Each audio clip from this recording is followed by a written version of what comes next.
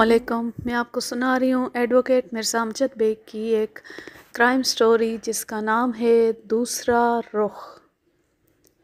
28 जनवरी की शाम जो शख्स सबसे आखिर में मेरे दफ्तर में दाखिल हुआ, उसे देखकर मैं चौंक उठा। मस्कूरा शख्स कद काठ और वज़ाकता में डॉक्टरनों का किरदार अदा करने वाले हॉलीवुड के सुपरस्टार शान कौनरी से मुशाबा था। खालो ख़त और नशस्त बर्खास्त में भी गहरी ममासलत पाई जाती थी। ताहम हकीकत यह थी कि शान कॉनरी, जेम्स बॉन्ड से उसका दूर का भी वास्ता नहीं था। वो खालिस्तान एक मकामी आदमी था। मैंने पेशावराना मुस्कुराहट से उसका इस्तकबाल किया। रस्मी अलेक्स लेक के बाद में पूरी तरह उसकी जानब मतवजो हो गया और शाइस्ता लहजे में इस्तफसार किया, जी फरमाइए, मैं आपकी क्या खिदमत कर सकता हूँ? मैं एक मुसीबत में फंस गया हूँ। मुसीबत की तफसील क्या है? दरअसल मैं नहीं, बल्कि मेरा एक मोहसिन मुसीबत में गिरफ़्तार हो गया है। मैं इसी सिलसिले में हाज़िर हुआ था।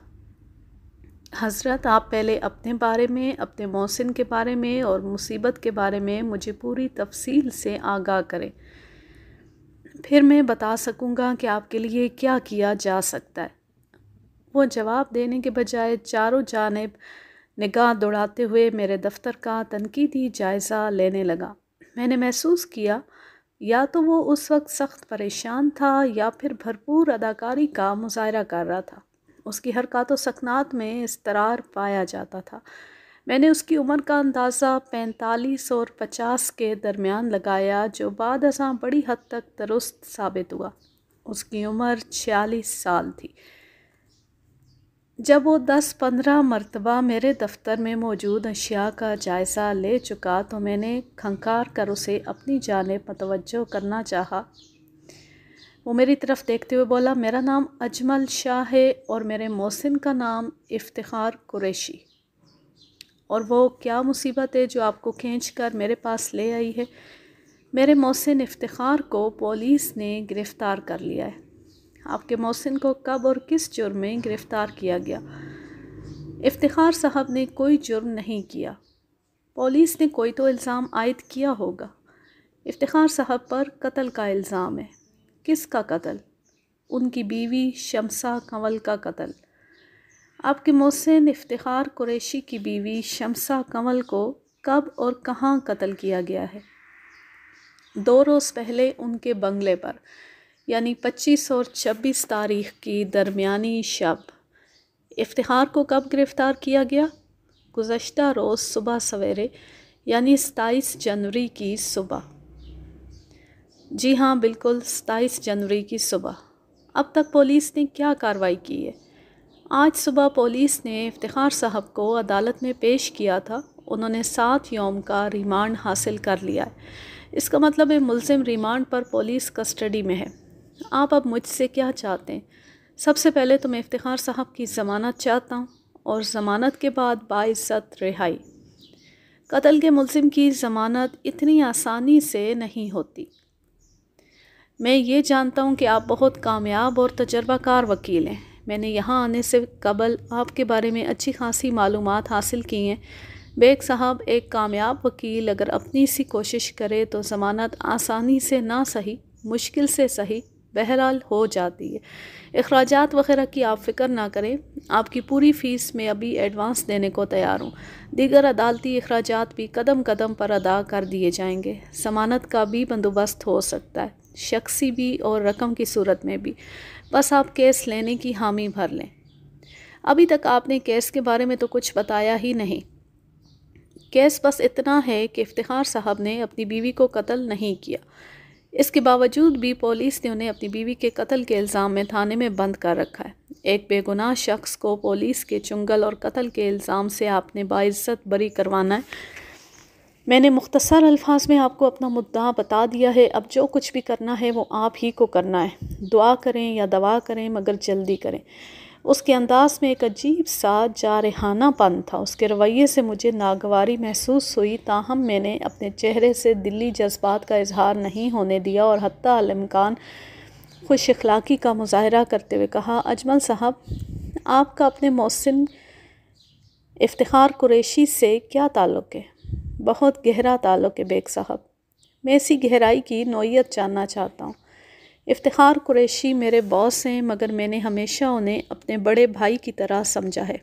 वो भी मुझसे छोटे भाइयों जैसा शफ़क़त और मोहब्बत का सलूक करते हैं। क्या इफ्तिखार साहब कोई बिज़नेस करते हैं? इफ्तिखार साहब सनतकार हैं। सनत की नोयत क्या है? उनकी बाल पेन तैयार करने की एक फ़ैक्ट्री है। फैक्ट्री का नाम क्या है? कुरैशी इंजीनियर्स। ओह, ये तो खासा जाना पहचाना नाम है। कुरैशी इंजीनियर्स और उनके तैयार करदा बाल पेन प्रोडक्ट से मैं वाकिफ़ था। जी हाँ वकील साहब, हमारी फैक्ट्री के तैयार करदा बाल पेन आला मैार के हामिल होते हैं। हम एक्सपोर्ट क्वालिटी का माल तैयार करवा कर बैरून मुल्क भेजते हैं और आज तक कहीं से कोई शिकायत मौसू नहीं हुई। ना अंदरून मुल्क से और ना बैरून मुल्क से। अजमल साहब, आप कुरैशी इंजीनियर्स में क्या करते हैं? जनाब, मैं उस फैक्ट्री का जनरल मैनेजर हूँ। अच्छा अच्छा। बेग साहब कहने को तो मैं कुरैशी इंजीनियर्स का एक मुलाजिम हूँ, मगर इफ्तार साहब ने कभी मेरे साथ मुलाजमों जैसा रवैया नहीं अपनाया, बल्कि हमेशा मुझे अपने घर का एक फ़र्द, अपना छोटा भाई समझाए।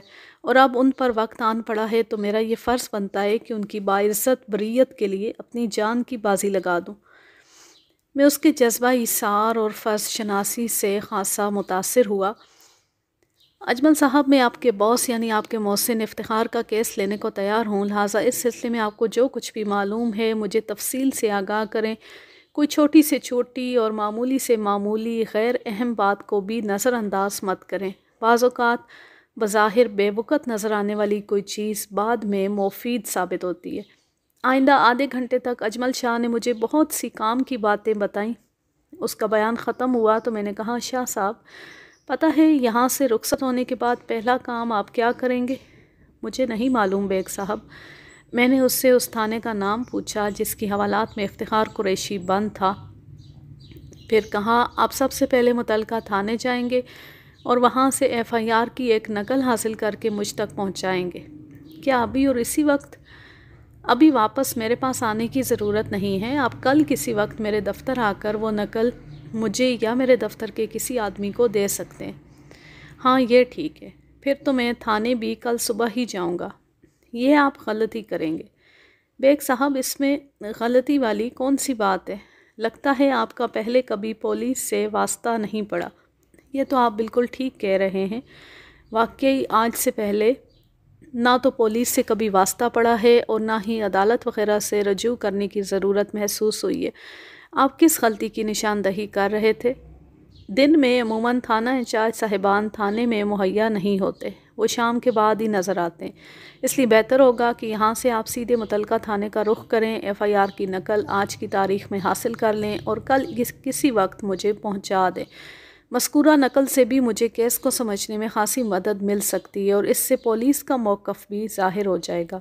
मैं आपकी हिदायत पर अमल करूँगा बेग साहब। एक बात और पुलिस वालों से, चूँकि ये आपका पहला सबका है, इसलिए ये बात जहन में रखिएगा कि एफ़ आई आर की नकल हासिल करने के लिए आपको थोड़ी बहुत रकम पुलिस वालों की खिदमत के जैल में ख़र्च करना पड़ेगी। आपका बंदा कत्ल के इल्ज़ाम में रिमांड पर है, इसलिए वो आपसे सीधे मुँह बात नहीं करेंगे। आपकी बात मेरी समझ में आ गई है, बेग साहब। और ये भी मुमकिन है, पुलिस वालों ने ख़ुद भी आपके बॉस से किसी तगड़ी रकम का मुतालबा किया। रिमांड की मुद्दत के दौरान तफ्तीश के नाम पर मुलजिम को तशद का निशाना भी बनाया जाता है। इस कार्रवाई का मकसद जुर्म उगलवाने से ज़्यादा मुलजिम से रकम बटोरना होता है। निचले अमले के ज़रिए मुलजिम के जहन में ये बात नक्श करा दी जाती है कि अगर तफ्तीश से बचना है तो उनका मुतालबा पूरा कर दिया जाए।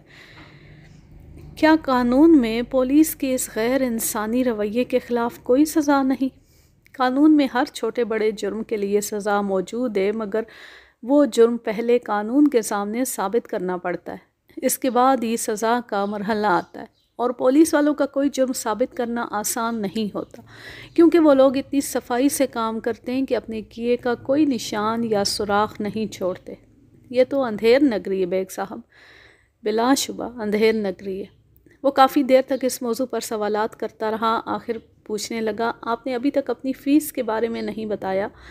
मैंने उसे अपनी फ़ीस की रकम बताई और दो टोक अल्फाज में कहा, मैं फ़ीस एडवांस लेता हूँ, ये मेरा अटल उसूल है। मैं आपके असूल की पाबंदी करूँगा। फिर उसने फ़ौर अपनी जेब से मेरी मतलूबा फ़ीस की रकम निकाल कर मेरी जानब बढ़ा दी। मैंने फ़ीस की वसूली की रसीद लिख कर उसे थमा दी। वो खुदा हाफिज़ कहते हुए अगले रोज़ दोबारा आने का वादा करके मेरे दफ्तर से रुखसत हो गया। अजमल शाह ने मुझे जो मालूम फ़राहम की थी, उनमें से गैर ज़रूरी बातों को हज़फ करके मैं मुख्तसरा आपकी खिदमत में पेश करता हूँ, ताकि आगे बढ़ने से पहले आप इस केस के पस मंज़र से वाकिफ़ हो जाए। कुरैशी इंजीनियर नामी फैक्ट्री इफ्तार कुरेशी के वालिद फ़ज़ल कुरैशी ने कायम की थी। इफ्तार को ये जमा जमाया कारोबार विरसे में या यूँ कह लें, तरके में मिला था। इफ्तार अपने वालदेन की इकलौती औलाद था। बिल्कुल इसी तरह जिस तरह तोसीफ़ इफ्तार की वाद औलाद था। कहते हैं, इकलौती औलाद वालदेन को बहुत अज़ीज़ होती है, वो उसे अपनी आँख का तारा समझते हैं, मगर अमूमन देखने में ये आया है कि जवाबन उस इकलौती वाल, इकलौती औलाद को वालदेन कुछ ज़्यादा अज़ीज़ नहीं होते। वो अपने बच्चे से जितनी मोहब्बत और लाड प्यार करते हैं, उसके नतीजे में बच्चा उनका उतना ख्याल नहीं रखता जिसके वो हकदार होते हैं। खैर, ये कोई फार्मूला नहीं है। इफ्तार अपने वालिद फ़ज़ल कुरैशी के नक्शे कदम पर चलते हुए बहुत लाइक फ़ाइक साबित हुआ, जबकि तोसीफ़ बिल्कुल इसके बरक्स निकला था। दुनिया की हर नेमत, आसाइश और सहूलत मैसर होने के बावजूद भी उसने ना तो तालीमी मैदान में कोई कारनामा अंजाम दिया और ना ही कारोबारी मामला में अपने बाप का दायां हाथ बनने की कोशिश की। उसने गिरे पड़े नंबरों से मैट्रिक तो कर लिया था, मगर इसके बाद आवारगी और हिमाकतों को अपना शार बना लिया।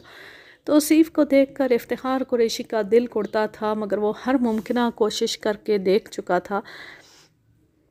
तोसीफ़ की निसाबी सरगर्मियों और निसाबी बेरगबतियों में रत्ती बराबर फ़र्क नहीं आया था। तोसीफ़ इफ्तार कुरेशी की दूसरी बीवी शमसा कंवल के बतन से पैदा हुआ था और उस वक्त उसकी उम्र लगभग बीस साल थी। इफ्तार ने पहली बीवी नाहिद के साथ पाँच साल अस्तवाजी ज़िंदगी गुजारी थी। सुबह शाम के झगड़ों से तंग आकर बिल आखिर इफ्तार ने उसे तलाक दे दी थी। इस तलाक की दीगर वजूहत के साथ सबसे अहम सबब नाहिद का बदजुबान और बे औलाद होना था। इफ्तार कुरेशी को अपनी नस्ल चलाने के लिए औलाद की ज़रूरत थी और नाहिद को शहर के तमाम तजर्बाकार डॉक्टरों ने बांझ करार दे दिया था। मुमकिन था वो नाहिद की मौजूदगी में ही दूसरी शादी कर लेता, मगर नाहिद ने सख्ती से इसकी मुखालफत की थी। दूसरे इफ्तार नाहिद जैसी तनक मिजाज, झगड़ालू और बदकलाम औरत के साथ मज़ीद ज़िंदगी बसर करने का तस्वुर भी नहीं कर सकता था। नाहिद उसके अपने ख़ानदान से थी और दूसरी शादी के ज़िक्र पर उसने न सिर्फ़ शदीद हंगामा किया था, बल्कि इफ्तार को धमकी भी दी थी कि अगर वो उस पर सौतन लाया तो अपने भाइयों के ज़रिए उसे यादगार मज़ा छकाएगी। नाहिद का एक भाई पुलिस में भी था। इफ्तार कुरैशी रोज़ रोज़ की किल किल से छुटकारा चाहता था, लिहाजा उसने हिम्मत से काम लिया और किसी किस्म के ख़तरे की परवाह किए बग़ैर उसने नाहिद को तलाक दे दी। उसने जरूरतमंदी का मुजाहरा कर दिया था, मगर जहन के एक गोशे में इस बात के इम्कान मौजूद थे कि नाहिद कोई ना कोई टंटा खड़ा करने की कोशिश करेगी, लेकिन सब खैरियत गुजरी। एक साल के अंदर ही इफ्तार कुरैशी ने दूसरी शादी कर ली। उसकी दूसरी बीवी उसकी मनकूहा बनने से पहले उसी के दफ्तर में मुलाजिम थी। शमसा का ताल्लुक इंतहाई गरीब ख़ानदान से था। उसके वालिद का इंतकाल हो चुका था और वालदा मेहनत मजदूरी वगैरह से घर चला रही थी। इंटर पास करने के बाद शमसा अमली मैदान में आई। टाइपिंग वगैरह उसने मैट्रिक के बाद ही सीख ली थी। उसकी पहली और आखिरी जॉब इफ्तार कुरैशी के दफ्तर ही की थी। जब उसने नौकरी ज्वाइन की तो उसकी उम्र उन्नीस साल से ज़्यादा नहीं थी। फिर एक साल के अंदर ही उनकी शादी हो गई। जब बहसीत टाइपिस्ट शमसा ने कुरैशी इंजीनियर्स ज्वाइन की, उस वक्त इफ्तार नाहिद को तलाक दे चुका था। इफ्तार ने शमसा से शादी करके एक नया तजर्बा किया था, जो सौ फ़ीसद कामयाब रहा था। वो अपने से कहीं कम माशी हैसियत की लड़की से शादी करके ये साबित करना चाहता था कि ख़ानदान छोटा हो या बड़ा, अदना हो या आला, कमतर अच्छा इंसान हमेशा अच्छा ही रहता है। और अगर दो अफराद के दरमियान मोहब्बत का रिश्ता इस्तेवार हो जाए तो फिर तमाम ऊंच नीच ख़त्म हो जाती है। और ये हकीकत थी कि इफ्तार को शमसा से मोहब्बत हो गई थी। चंद ही दिनों में शमसा ने उसके दिल में घर कर लिया था। शमसा के पास उसकी सबसे नुमाया खूबी उसका हुसन था। वो दिलकश खालो ख़त की मालिक, एक हसीन व जमील लड़की थी। इस पर तुरा ये कि उसकी आदात, हरकत सकनात और रवैये में एक तोज़ुन और तहजीब पाई जाती थी। दो माह के अंदर इफ्तार ने हतमी फ़ैसला कर लिया था कि वो शमसा से शादी करके रहेगा। शमसा उसे अपने ख्वाबों की ताबीर दिखाई देती थी और फ़ी ज़माना ये बहुत बड़ी बात थी। इफ्तार ने जब शमसा के बारे में तहकीक करके अपनी तसल्ली कर ली तो उसकी जानब कदम बढ़ाया। इब्तदाई चंद कोशिशों ही में उसे अंदाज़ा हो गया कि दोनों जानब आग है, बराबर लगी हुई। अलखर्स इफ्तार ने शमसा की वालदा से मुलाकात की। वालदा ने शमसा से उसकी मर्ज़ी दरियाफ़्त की और इब्तदाई मराहल तय करने के बाद उनकी शादी हो गई। इफ्तार से शादी के बाद शमसा की दुनिया ही बदल गई। वो गोया ज़मीन से आसमान पर आ गई थी। इफ्तार को भी ज़िंदगी में पहली मरतबा महसूस हुआ कि औरत खसूस बीवी को खालिस बेगर्स और सच्ची मोहब्बत क्या होती है? इफ्तार ने दीगर अमूर के साथ शमसा की तालीम का सिलसिला भी जारी रखा। शमसा ने पहले ग्रेजुएशन किया, फिर मास्टर्स भी कर लिया। अलावा असी इफ्तार ने उसे अपने साथ ही फैक्ट्री के मामला में भी शामिल कर लिया था। वो अपने कारोबार की ऊंच, नीच और दीगर अमूर पर घंटों उसे लेक्चर देता। शमसा सही मानों में उसकी निसफ बेहतर साबित हो रही थी। शादी के एक साल बाद ही उनके यहाँ तोसीफ़ ने जन्म लिया। इफ्तार की ख्वाहिश थी कि उसका बेटा उसका जानशीन साबित हो, मगर ए बसा आरज़ू के खाक शुदा। जैसे जैसे शमसा फैक्ट्री के मामला को समझ रही थी, वैसे वैसे इफ्तार कुरैशी फैक्ट्री में अपना अमल दखल कम कर रहा था। अपनी तमाम तर कोशिशों के बावजूद भी जब तोसीफ़ ने किसी किस्म की कारकर्दगी ज़ाहिर ना की तो इफ्तार उसकी तरफ़ से मायूस हो गया और वह ज़्यादा से ज़्यादा शमसा पर इसार करने लगा। शमसा बाकायदगी से फैक्ट्री जाती, पूरा दिन दफ्तर में गुजारती, अपने शोहर का हाथ बटाती और अपनी निगरानी में फैक्ट्री के मामला को चलाती। शमसा ने इतनी ज़िम्मेदारी से तमाम काम समझा, सीखा और संभाला था कि इफ्तार को हैरत होती थी। फिर एक ऐसा वक्त भी आया कि वो इंडिपेंडेंटली फैक्ट्री चलाने लगी। इफ्तार उसके साथ फैक्ट्री जाता ज़रूर था, मगर अमली तौर पर उसने फैक्ट्री के मामला में दिलचस्पी लेना ख़त्म कर दी थी। इसकी एक बड़ी वजह उसकी फितरी तानासानी भी थी, या यूँ कह लें कि शमसा ने अपनी मुस्तैदी और कारकर्दगी से उसे तानासान बना दिया था। वो हकीकी मानों में इफ्तार का दायां बाजू साबित हो रही थी। उसने बेटे से जो उम्मीदें लगा रखी थीं, वो बेटे की माँ पूरी कर रही थी। हर गुज़रते दिन के साथ उनके दरमियान मोहब्बत की कुत में बेपना इजाफ़ा हो रहा था। वो दोनों एक दूसरे के जितना करीब आ रहे थे, तोसीफ़ उन दोनों से इतना ही दूर होता जा रहा था। बुरी सोबत ने उसे आवारा बना दिया था। वो अपनी माँ और बाप से सिर्फ़ एक मकसद की खातिर मिलता था। जब भी उनके करीब आता, सिर्फ़ एक ही मुतालबा करता, उसे किसी न किसी मद में रकम की ज़रूरत होती थी और ये दोनों ना चाहते हुए भी उसे रकम मुहैया कर देते थे। तोसीफ़ अपने वालदेन की कमज़ोरी से फ़ायदा उठा रहा था। वो जानता था कि उसकी माँ और बाप उसे बेपनाह चाहते हैं। गोया दूसरे लफ्ज़ों में वो उन्हें ब्लैकमेल करता था। इमोशनल ब्लैकमेलिंग सिर्फ़ वही लोग समझ सकते हैं जो इस नाजुक तजर्बे से अमली तौर पर गुजरे हों। इफ्तार ने जब भी उसे तालीम मुकम्मल करने के लिए कहा तो उसका एक ही रटा रटाया जवाब होता, तालीम में क्या रखा है डैडी? बड़ी बड़ी डिग्रियों वालों को मैंने मामूली नौकरियों की तलाश में जूते चटखाते देखा है। इफ्तार कुरैशी उसे समझाता, इंसान सिर्फ़ नौकरी हासिल करने के लिए तालीम हासिल नहीं करता, ये तो इंसान का जेवर है। एक ऐसा सरमाया है जिसे कोई चोरी नहीं कर सकता। ऐसा सरमाया आजकल बेमैनी होकर रह गया है, डैडी। मौजूदा दौर में जिस सरमाए की वैल्यू है, वो आपके पास बेअंदाज़ा मौजूद है। मैंने तो यही देखा है, जिसके पास जितनी ज़्यादा दौलत होती है, माशरे में उसकी इतनी ज़्यादा इज़्ज़त होती है। तालीम वगैरह को कोई नहीं पूछता। किसी भी वीआईपी क्लब या जेम खाना या ऐसी किसी तफरी मकाम पर सूट बूट से आरी अफराद का दाखला ममनू होता है। चाहे उन नाट अलाउड अफराद में कोई कितना ही ज़्यादा तालीम याफ्ता क्यों ना हो। सोसाइटी में सिर्फ़ साहिब सरवत लोगों को इज़्ज़त दी जाती है और शुक्र है कि आपकी दौलत ने मुझे बे इंतहा इज़्ज़त दे रखी है। बेटे की अजीब गरीब सोच पर इफ्तार कुरैशी सिवाय अफसोस करने के और कुछ नहीं कर सकता था। ताहम उसको हर हाल में समझाना भी ज़रूरी था, इसलिए वो अपनी कोशिश जारी रखता। देखो बेटे, ये हकीकत है कि आज जो कुछ मेरे पास है वो तुम्हारा और तुम्हारी वालदा का ही है, मगर तुम्हें अंदाज़ा नहीं कि मैंने इस मकाम तक पहुँचने के लिए किस कदर मेहनत की है। मैं चाहता हूँ वो मेहनत तुम भी करो, मेहनत के बगैर कुछ हासिल नहीं होता।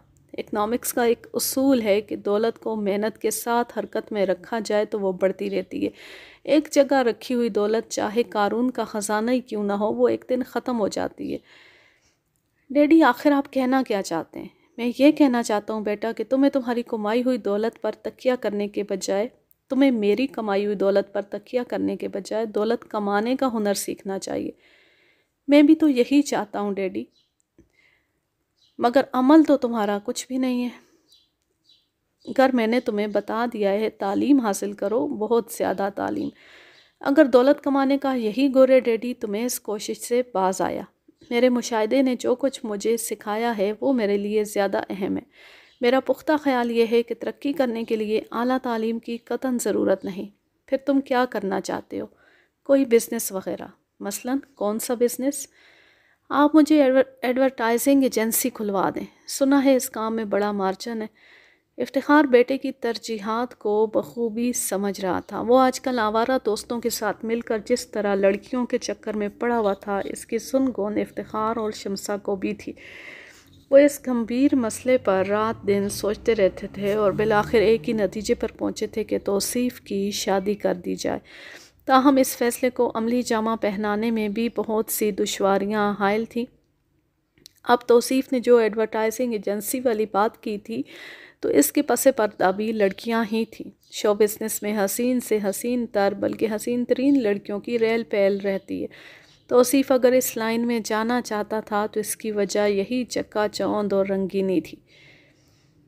इफ्तार ने उसे समझाते हुए कहा, मुमकिन है एडवर्टाइजिंग के काम में पैसा हो, लेकिन किसी भी तौर ये मुनासिब नहीं कि अपना चलता हुआ कारोबार छोड़कर किसी ऐसे काम में हाथ डाला जाए जिसका कोई तजर्बा ना हो। मेरा ख्याल है हमारी फैक्ट्री दिन दुगनी, रात चुगनी, तरक्की कर रही है। अगर तुम फैक्ट्री के मामला में दिलचस्पी लो तो तुम्हारे लिए बेहतर है। वैसे भी मेरे बाद तुम्हें ही ये कारोबार संभालना होगा। मैं आपके ख्याल से मुतफ़िक नहीं हूँ, डैडी। क्या मतलब बेटा? पहली बात तो ये कि मुझे आपके कारोबार में ज़रा भी दिलचस्पी नहीं है। दूसरे, जहाँ तक तजर्बे की बात है तो जब तक इंसान कोई काम करेगा नहीं, उसे तजर्बा कैसे हासिल होगा? मैं भी एडवर्टाइजिंग एजेंसी खोल कर तजर्बा हासिल करूँगा। इफ्तार के लिए बेटे को समझाने का मरहला हमेशा ही दिक्कत तलब होता था, ताहम फिर भी वो अपना फ़र्ज़ किसी न किसी तरह पूरा करता रहता था। चलो ठीक है, मैं तुम्हें एडवर्टाइजिंग एजेंसी खुलवा दूँगा, मगर इसके लिए मेरी भी एक शर्त है। वो क्या, डैडी? पहले तुम कुछ अरसे के लिए किसी एडवर्टाइजिंग एजेंसी पर काम करोगे। जब तुम्हें इस काम का तजर्बा हो जाएगा तो फिर तुम्हें तुम्हारी ज़ाती एजेंसी भी खुलवा दूँगा। कहो तो मैं अपने एक दोस्त से बात करूँ? वो एक कामयाब एडवर्टाइजिंग का इदारा चला रहा है। सीधी तरह क्यों नहीं कहते कि आप मेरी ख्वाहिश पूरी नहीं करना चाहते? ये तो साफ़ इनकार हुआ ना। मैं तुम्हारी बात समझ नहीं सका। सीधी सी बात है, आपका वो दोस्त कभी भी ये नहीं कहेगा कि मैं काम सीख चुका हूँ या ये कि ये काम मेरे लिए मौजू है। इस तरह एडवर्टाइजिंग एजेंसी का मामला खटाई में पड़ पड़ जाएगा। मगर मेरा वो दोस्त ऐसा क्यों करेगा? आपकी हिदायत जो होगी। मेरी हिदायत? जी हाँ।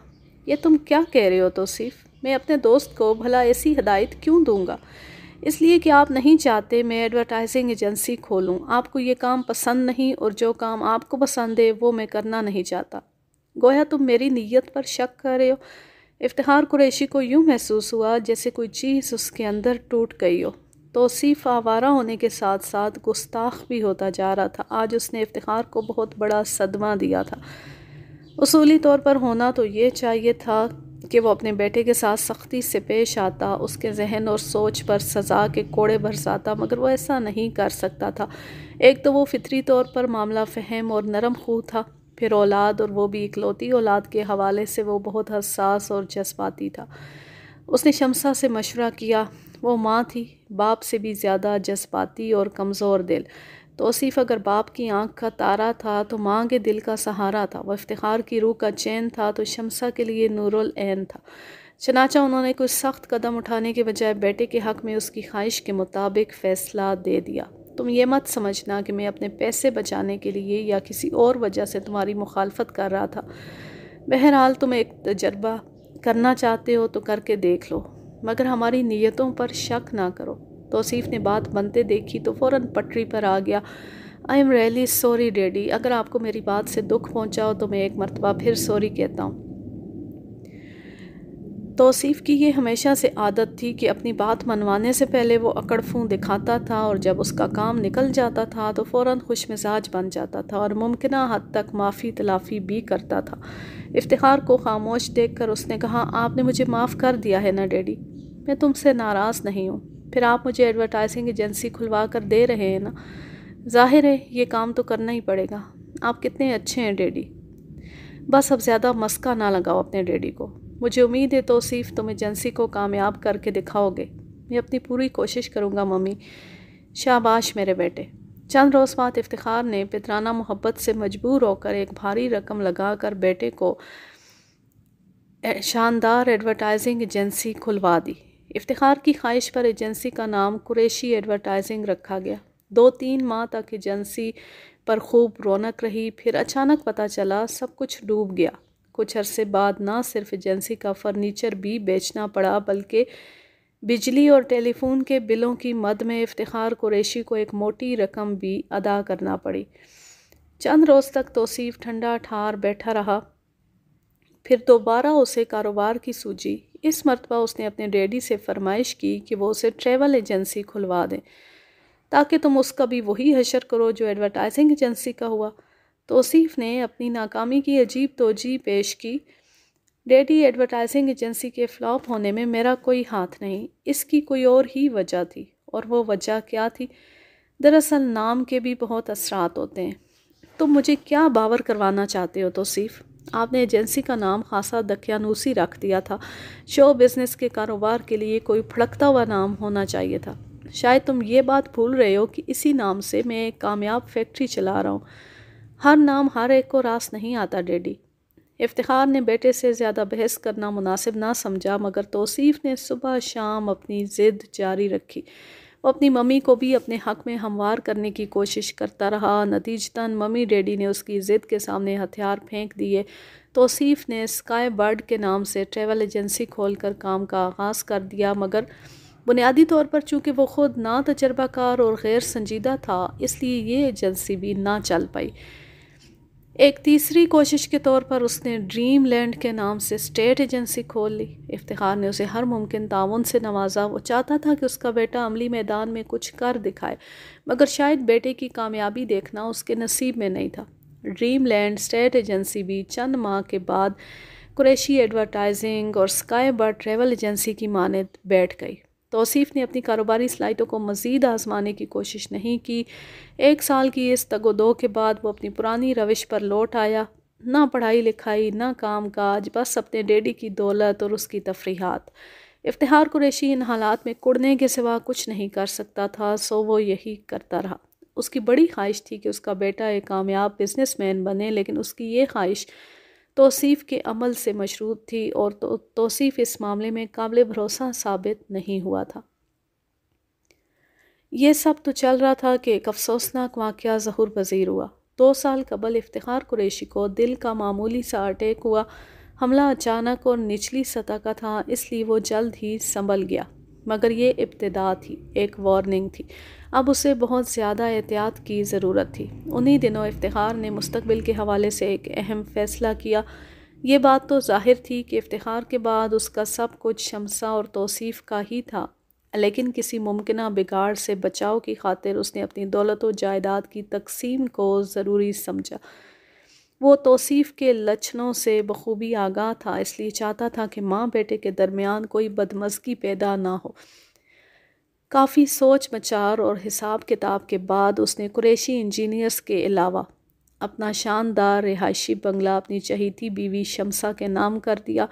मस्कूरा बंगला पी सी एच सोसाइटी के सबसे पोश ब्लॉक में वाक़ था। शमसा के इस्तेमाल में रहने वाली सनी गाड़ी पहले ही उसके नाम थी। शमसा का एक ज़ाती बैंक अकाउंट भी था, जिसमें हर वक्त एक माकूल रकम मौजूद रहती थी। तारिक रोड और क्लिफ्टन के इलाके में इफ्तार कुरैशी के दो लग्जरी फ्लैट भी थे, जो किराए पर उठे हुए थे। उसने वो दोनों फ्लैट तोसीफ़ के नाम कर दिए। अलावा जी उसके नाम से एक भारी रकम बैंक में फ़िक्स करवा दी, जिसको इस्तेमाल में लाने के लिए शमसा की कानूनी इजाज़त ज़रूरी थी। एक गाड़ी तोसीफ़ के तसरफ़ में थी अलबत् उसका बैंक अकाउंट अमूमन खाली ही रहता था। इफ्तार ने इस तकसीम में यह ख्याल ख़ास तौर पर रखा था कि शमसा का पलड़ा भारी रहे, क्योंकि उसे यकीन था कि शमसा दौलत की कदर करना जानती थी। दूसरी जानब वो तोसीफ़ को चाहे कितना भी नवाज़ देता, उसने सब कुछ बराबर कर देना था। फिर यह भी था कि शमसा की पोजीशन अगर मज़बूत और मुस्तकम रहती तो वो तोसीफ़ को हर मुश्किल में संभाला दे सकती थी। शमसा से इफ्तार की मोहब्बत मुसलम थी। इसने हमेशा शमसा का ख्याल रखा था। जवाबन शमसा ने भी उसे कभी शिकायत का मौका नहीं दिया था। इस अस्तवाजी ज़िंदगी की कामयाबी में दोनों का बराबर का हिस्सा था। वो दोनों एक दूसरे से पुरखलूस थे। उनकी ज़िंदगी में कोई महरूमी नहीं थी। खुदा ने उन्हें इज़्ज़त, दौलत, शहरत और औलाद जैसी नेमतों से नवाजा था। अगरचा वो तोसीफ़ की जानब से हमेशा तशवीश में मुबतला रहते थे, ताहम वो उसके साथ ज़्यादा सख्ती से भी पेश नहीं आ सकते थे। औलाद जब जवान हो जाए तो फिर सख्ती काम नहीं आती। उन्हें किसी हमत अमली से काबू करना पड़ता है, वरना वो बखावत और सरकशी पर उतर आते हैं। तोसीफ़ पर अगर किसी शख्स की बात का थोड़ा बहुत असर होता था तो वो शख्स कुरेशी इंजीनियर्स का जनरल मैनेजर अजमल शाह था। तोसीफ़ अजमल शाह को अंकल कहता था और उसकी बात को तवज्जो से सुनने की कोशिश करता था। ये थे वो हालात जिनमें इफ्तार कुरैशी अपनी बीवी और बेटे के साथ ज़िंदगी गुजार रहा था कि अचानक उसे शमसा के कत्ल के इल्ज़ाम में गिरफ़्तार कर लिया गया। अब वो थाने की हवालात की आहनी सलाहों के पीछे बैठा तफ्तीशी मराहल से गुज़र रहा था। इसके अलावा भी अजमल शाह की ज़ुबानी मुझे चंद बातों का इलम हुआ, मगर सर दस्त उनका तस्करा में ज़रूरी नहीं समझता। अदालती कार्रवाई के दौरान मैं मुनासिब मौके पर वो निकात आपके सामने लाऊँगा। रिमांड की मुद्दत पूरी होने के बाद पुलिस ने चालान पेश कर दिया। पहली पेशी पर जज ने फ़र्द जुर्म पढ़कर सुनाई। मुलजिम ने सहते जुर्म से इनकार कर दिया। आज के लिए बस इतना ही। अब मैं लेती हूँ आपसे इजाज़त। जाने, खुश रहें, शादो आबाद रहें, हँसते मुस्कुराते रहें और मेरे चैनल को सब्सक्राइब ज़रूर कर लें। अल्लाह हाफिज़। अल्लाह ने के पान